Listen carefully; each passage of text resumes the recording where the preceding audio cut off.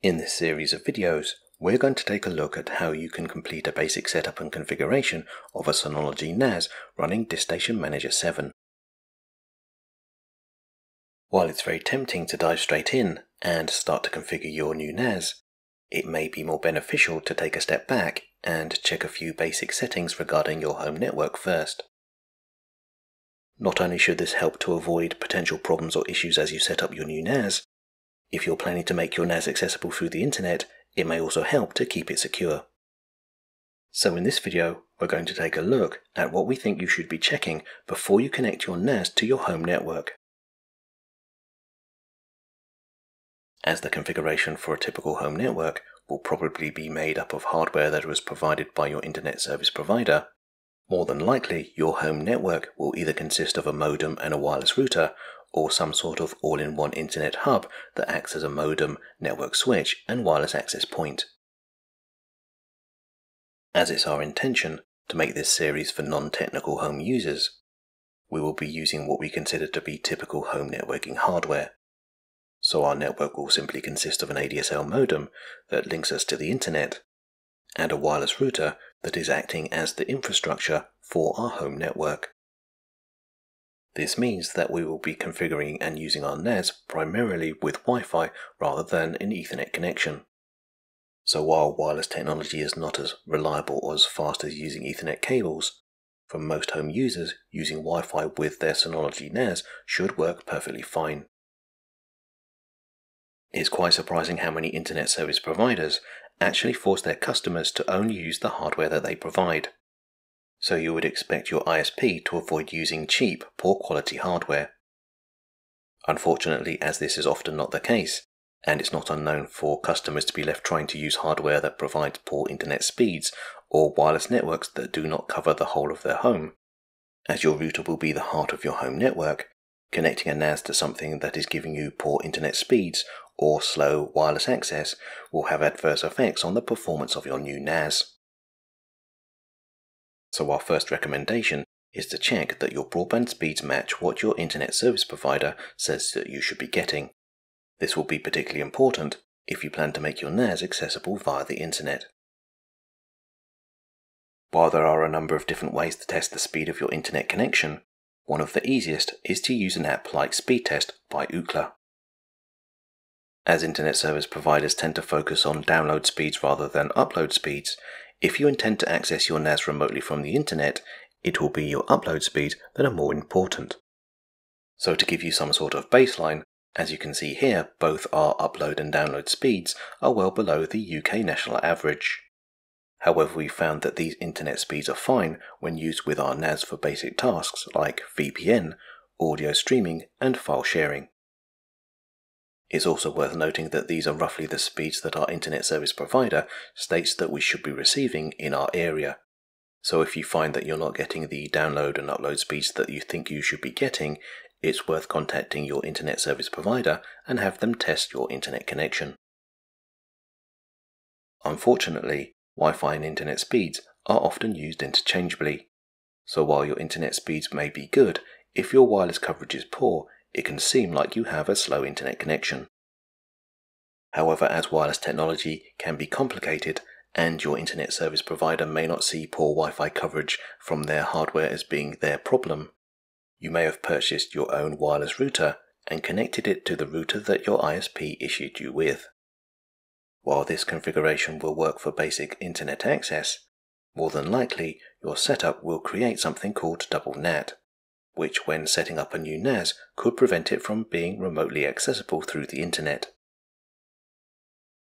In very simplistic terms, due to the way a router works, each router will have created its own isolated network, which in turn will have created two individual firewalls. So while you will be able to connect your NAS to either one of your routers, your NAS might experience problems navigating through the two networks that are sharing your internet connection. While double NAT is a topic for a future video, as there are multiple ways that it can be fixed, it is our opinion that the best option is to avoid double NAT in the first place. Not only will this mean that you have one less problem to solve later, it will also make troubleshooting that bit easier. So if you do have double NAT on your home network, before trying to configure your NAS, it may be worth contacting your internet service provider as they may be able to help you remove double NAT from your home network. As we mentioned earlier, your router is the heart of your home network. However, it's also a gateway to the internet. This means that as far as possible, you need to ensure that your home network is as secure as you can make it. However, when we use the term secure, we're speaking relatively, as nothing connected to the internet is truly secure. Instead, what we're looking to do is add layers of security to our home network that will either deter or prevent unauthorized access to our data. So while it may seem like a good idea to have your router remotely manageable through the internet, this will be another point of entry that has the potential to be exploited. It is for this reason that we recommend that, if possible, you disable the ability to remotely access and configure your router. If this is not possible, either because it violates your ISP's terms of service or your router can only be configured through an app, as a minimum, you need to make sure that your router settings are not accessible via the manufacturer's default administrator's credentials. So we recommend that you change your router's administrator's password so that it is at least 10 characters in length, uses a combination of upper and lowercase letters, includes at least one number, and maybe a non letter character. Also, if your router supports the function, now would be a good time to consider enabling something called two factor authentication. While not all routers will support this function, two factor authentication simply asks for two different forms of authentication in order for someone to be able to access the administrator's page on your router. As we've already mentioned, your router is your gateway to the internet, so you need to make sure that your gateway is protected with a firewall. While your router should by default already have its firewall enabled, before you connect and set up your NAS, it would be a good idea to run a test on your firewall to check that it's working correctly. The easiest way to do this is to use a web service called Shields Up. So if we open a web browser and in the address bar type grc.com, when we press enter, we will be taken to the Gibson Research Corporation homepage. Let's select Shields Up. Now from the homepage, we need to locate and select the Shields Up service. After selecting Proceed, we're presented with a number of different firewall tests. As we only want to do a basic test, we're going to simply choose the option All Service Ports. The all service port test will now check the first 1056 ports on our firewall as they are the most commonly used ports. While this is not a comprehensive test of all of the ports on our router's firewall, for now this test should provide us with a good indication as to the general state of our firewall. At the end of the test, we will be presented with a report indicating if our firewall passed or failed. While more than likely your firewall will have passed its firewall test, a fail is not necessarily an indication that your firewall is not working properly. Basically, Shields Up will identify three states open, closed, and stealth. However, when Shields Up was first created, most home users did not understand what the purpose of a firewall was for, so security experts explained firewalls in very binary terms, with open bad and stealth good. Unfortunately, this level of understanding, while fine for home users who only connect to the internet to pick up emails and browse the internet, is not particularly helpful for anyone looking to set up a NAS on their home network. This is because, in order for certain services on a NAS to work, it may be necessary for a specific port or ports to be open, which means that should your firewall fail a shields up test, it is not necessarily an indication that your firewall is not working. Instead, from a security standpoint, if Shields Up reports that a port is open on your firewall, as long as you are aware that that port is open, you understand what that port is being used for, you know where that port is sending traffic to, and you know that the device receiving data on that port is properly secure, your home network and firewall should be secure enough for your new NAS. More than likely, as soon as you set up your wireless network, you basically forgot about it. That's because most routers tend to just work, only requiring a reboot every now and again. However, when you set up your new NAS, there will be a number of elements relating to your home network that you will need to adjust. So now would be a good time to check that you can access those specific settings on your router. While not an essential feature, running your own DNS server does make navigating to elements in your home network a lot easier, as rather than having to use an IP address to connect to your NAS or router, you can use its hostname.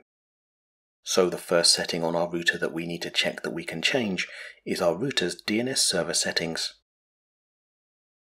You might also find it beneficial to try an alternative DNS server address to the one that was provided by your internet service provider.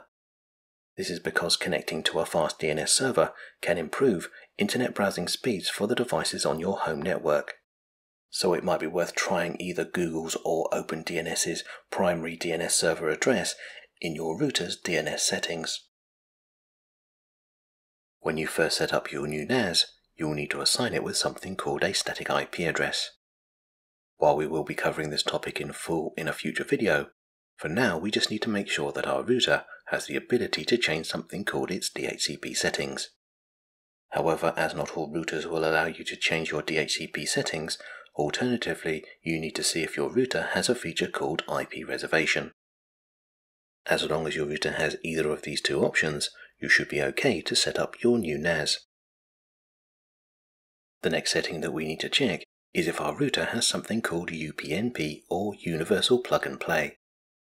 UPnP basically allows any devices connected to our home network to automatically open ports on our firewall and allow specific data to flow in or out of our network.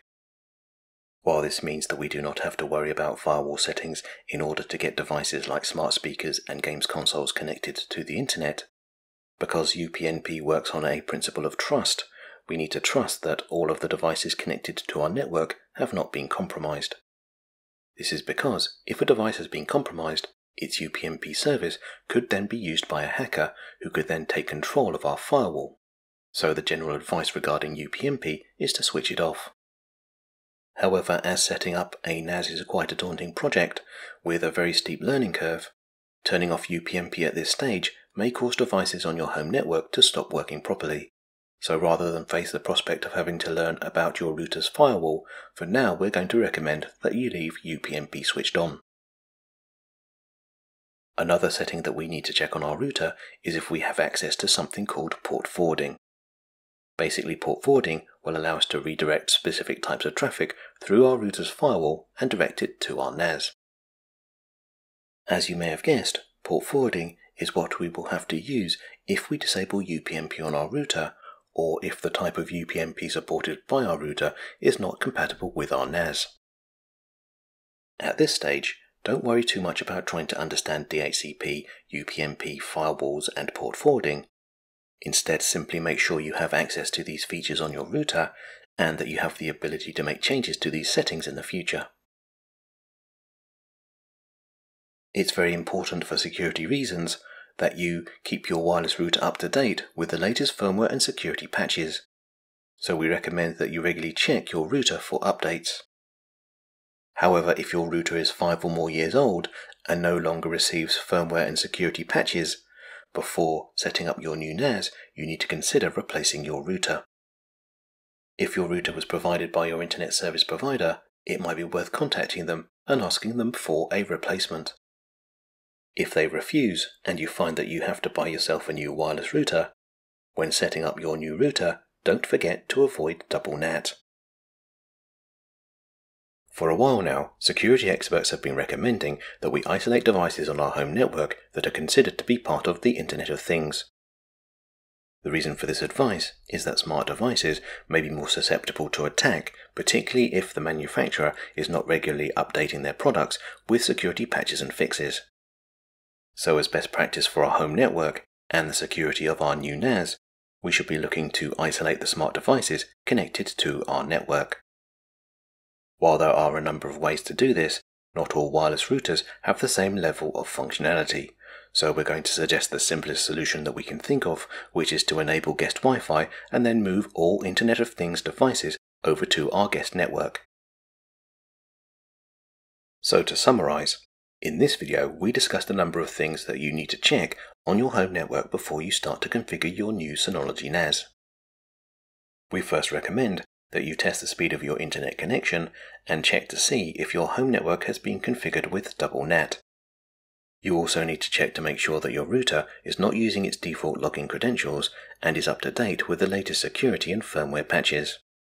Then if you're not familiar with the settings in your router, make sure that you can access DNS, DHCP, IP reservations, your firewall, and your router's port forward settings. Finally, for security reasons, we recommend that you move any Internet of Things devices to a separate network that is isolated from your new NAS and your other computers. In the next video in this series, we're going to take a look at the storage options for your NAS and try and explain how something called RAID will affect the storage capacity of your new NAS.